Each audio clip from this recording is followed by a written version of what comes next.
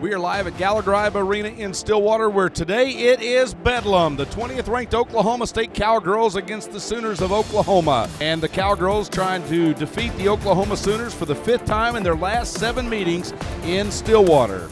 Bedlam is underway, and the Cowgirls with Maria Castro controlling the opening tip. And Castro launches a three-pointer. It's nothing but nylon. What a way to start. That's a heck of a way to start right there. 4-3 Oklahoma leads 8.30 to play. Goodwin drives into her defender, shoots, scores, and she's fouled on the play. You know, Loryn Goodwin has just taken this team to a whole nother level. Braxtin Miller not bad herself. How about a big bomb, right through the bottom of the net for the freshman Braxtin Miller. Here's Jensen strong to the hole. Bucket is up. It's good. Dribbles to the right side, pulls up with a three-pointer, and we're tied at 28. Castro has it, launches a quick three-pointer. Yes, sir! Right through the bottom of the net. Now brings it cross court. Castro's wide open three-pointer. Yes, sir! You betcha! Boom!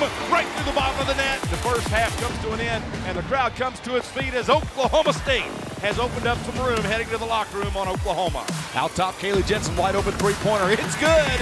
The top of the key.